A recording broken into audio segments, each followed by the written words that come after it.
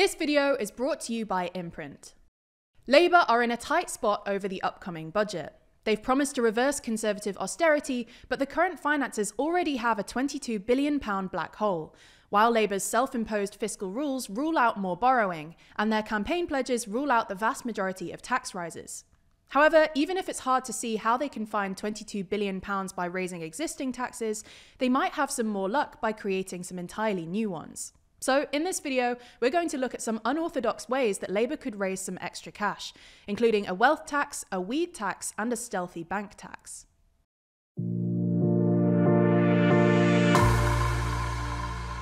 Before we start, if you haven't already, please consider subscribing and ringing the bell to stay in the loop when we release new videos.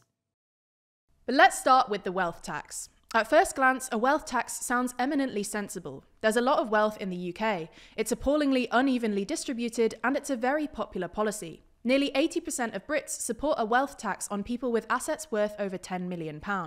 And every time we do a video on this topic, we get a whole load of comments saying we should just do a wealth tax. Unfortunately, though, they just don't have a great record. According to the OECD, wealth taxes are usually far harder to administer and bring in far less money than expected, which is why they've become less popular over the past few decades. In 1990, for instance, 12 OECD countries had some sort of tax on net wealth, but that number had fallen in 2017. There are a number of reasons why wealth taxes don't work as well as you might expect. For starters, measuring wealth is far more difficult than measuring income, and the super rich often find ways to hide or undervalue their assets. Secondly, to make any wealth tax politically palatable, you have to have exemptions, and these are usually ruthlessly exploited. In the UK context, a wealth tax would also discourage saving, which is already pretty low by international standards, and something that many people feel morally uneasy about. However, in 2020, a report from the Wealth Tax Commission found that while a bog standard annual recurring net wealth tax wouldn't be all that effective in the UK, a one off surprise wealth tax could work. According to the report, after accounting for non compliance and administration costs, a one off wealth tax payable on all individual wealth above £500,000 and charged at 1% would raise about £260 billion, whilst a similar tax for only those with more than £2 million in assets would raise about £80 billion. There are a number of advantages to a one off tax. If it's done without warning, rich people won't have any time to hide their assets or take steps to avoid it. It could be done without exemptions so that it couldn't be exploited, but payments could still be deferred to avoid bankrupting asset rich but cash poor people, like poor pensioners in big houses. If it's credibly one off, it also wouldn't affect future behaviour, unlike an annual tax, which would encourage people to either spend more or move their money offshore. But there are some apparent downsides. Some people see wealth taxes as a form of double taxation, given that wealth is usually accumulated by saving income. Although the UK already has taxes for specific forms of wealth, like capital gains tax, which we don't generally object to. Some people also think our tax system should be predictable, and one off taxes aren't predictable. Although, again, it's worth mentioning that Thatcher levied a windfall tax on the banks in 1981, and Blair levied a windfall tax on private utilities in 1997. Perhaps the biggest issue, though, is that Labour doesn't have the mandate to do it. But to be fair, because the tax relies on it being a surprise, it's not like they could put it in their manifesto. Now, the other policy that you guys often recommend in the comments is legalising cannabis for recreational use and then taxing it. Proponents of this policy argue that a legal but regulated market would reduce harm amongst users, reduce the pressure on police forces, and there's even some data from the US that it would reduce alcohol intake, which would then reduce pressure on the NHS. However, whilst this might be a good policy in and of itself, it wouldn't raise anywhere near enough money. Estimates currently suggest it could raise a maximum of £3.5 billion a year if it was taxed at the same rate as tobacco.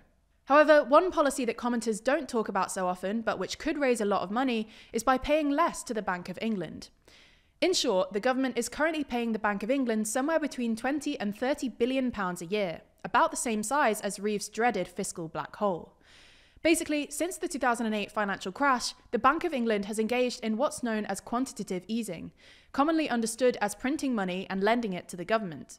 However, when the Bank of England prints this money, it doesn't lend it to the government directly. Instead, it uses that money to buy government bonds off big banks, like Lloyds and HSBC. Anyway, Lloyds or HSBC then use this metaphorically printed money as what's known as a reserve.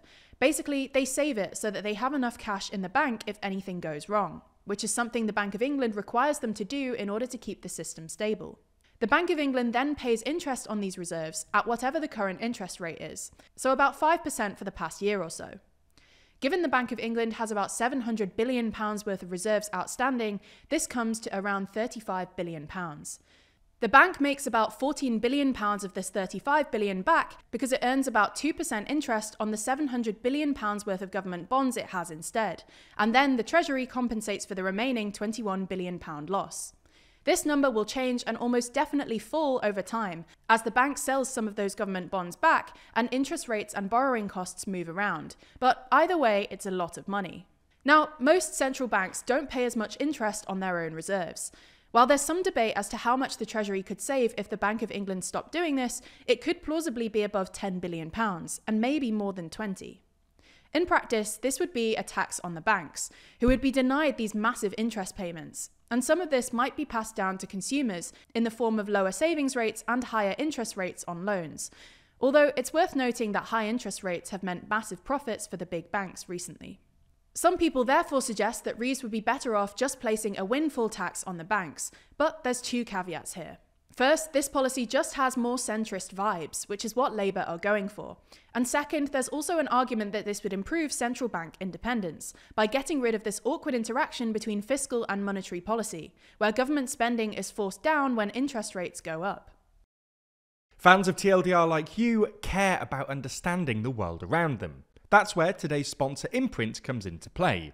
If you care about building a life of learning, then Imprint is the app for you.